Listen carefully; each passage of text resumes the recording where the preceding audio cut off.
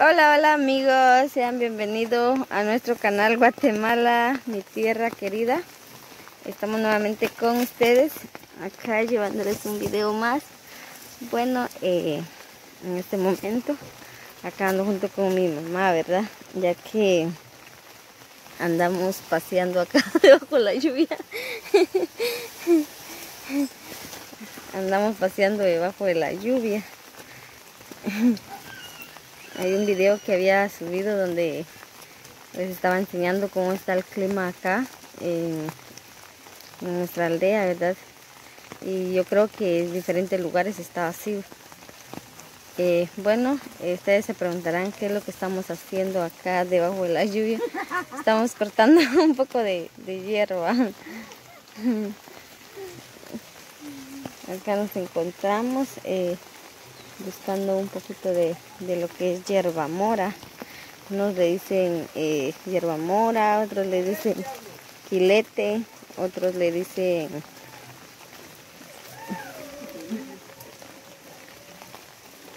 o sea, de muchas formas, ¿verdad?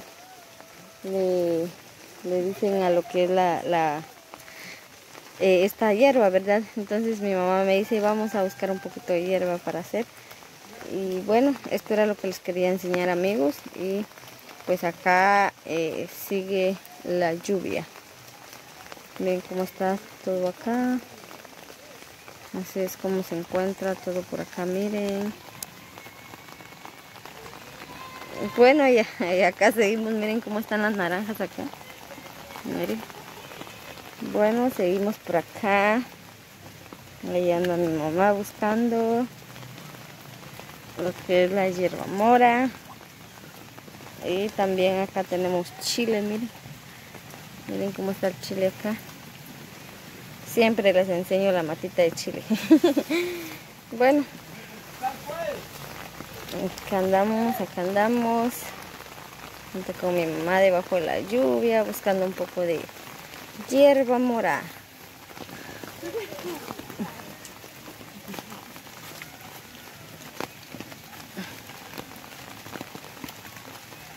Bueno, bendiciones amigos y hermanos, bendiciones para todos.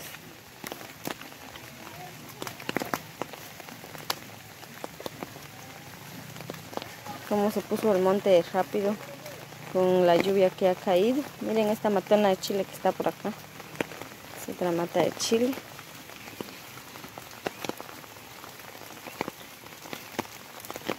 Ahí anda mi mamá, miren. Vamos a ir a... Andamos por acá buscando, buscando. ¿Cómo está ese patito ahí?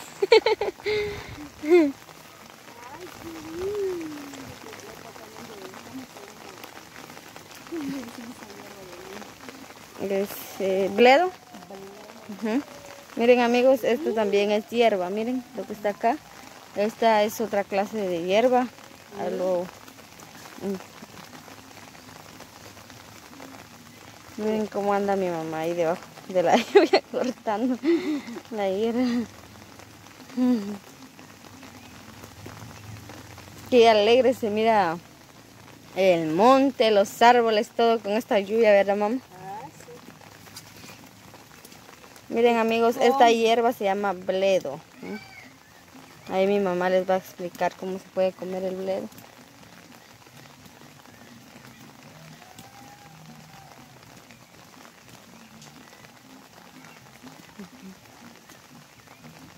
Miren. Chulo está. Esta es calidad, miren. ¿Y eso cómo lo vas a hacer ahorita? La hierba mora, como ya tengo más allá, es en caldito. Ahora este, miren, se le puede cocer así con una sopa o se, le puede hacer así frito. Frito, ¿verdad? Y con su tomatito picado se le pone una cebolla y después lo va comiendo uno. Esta hierba en diferentes maneras la puede arreglar uno. Y es bien rica, ¿va? Ajá. Mucha gente lo cose y sacar la vitamina. Pero esta hierba es, bueno hacer el apagado. Pero ¿cómo se puede hacer el apagado? Ya está hecho la, el tomate, Ya está hecho la cebolla, ya está picado todo. Y entonces deja caer la hierba. Y la tapa con una tapadera. Como unos cinco minutos va a ir a ver usted esta cocina. Mm, con tortillas calientes y, y, chile.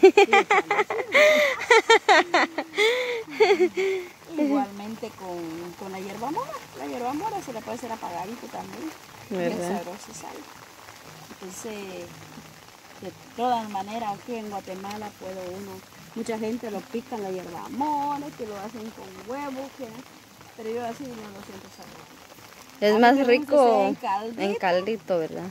o a esta apagada, porque la apagada no se saca la vitamina también, que se pica. Y esta hierba es, es bueno, bueno, algunas personas lo usan. Mucha eh, gente lo utiliza, ¿sabe una cosa esto? Cuando yo veo a los niños muy enfermos, ya no tengo flor de muerte, como para ofrecer a los niños, los agarran las hojitas más viejitas y las licúan para darle cuando los, mamás dicen, ay, gracias a Dios, mi hijo ya está sano. Dicen que esto es bueno para punto de anemia, ¿verdad? Ajá, eso está bueno también. Como la persona está muy recaído y se puede licuar todas las mañanas con una cucharadita de miel y se le da por siete días cuando ve la persona tiene bonito color. Esa yo -huh. que trae mucha vitamina. Para los que quieren, ya se aburrieron con la carne, pues también busquen la hierba sea la mora. o este bleo. Este bleo es bien rico también. sí, como ha salido aquí bastante, ¿verdad? yo vivo, yo vivo aquí, pero no me había dado cuenta. bueno, había visto que había unas matas así de esas matas viejas, pero se regó todo esto, lo que miran acá. Miren, amigos. Que los niños bastante. que los niños son traviesos. Miren, amigos, cómo está todo lo que se ve acá. Es, es esta hierba que les estaba comentando, bledo. Esas matitas que están ahí, también, ¿eh? matitas de yuca ahí también. Bien chulo. los que no conozcan la yuca, ellos han, solo han comprado en, en pedacitos, oye, vales a verlas. Miren amigos y hermanos, esto que ustedes ven acá, esto es yuca. Yuca, una persona, una persona un día me mandó un mensaje y me hizo, me dice, ¿eso qué es? Me dice, es, es, es marihuana, me dice. Ay, no, le digo, ¿cómo va a tener yo sembrado eso? No, hombre. Esto, miren, esto es yuca, amigos y hermanos.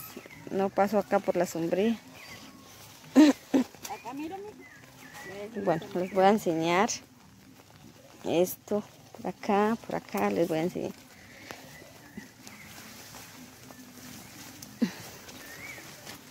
Acá del terreno nos encontramos acá a la orilla del camino. Bueno, esto es la yuca, miren. Esa mata grande que ustedes miran ahí, eso es la yuca.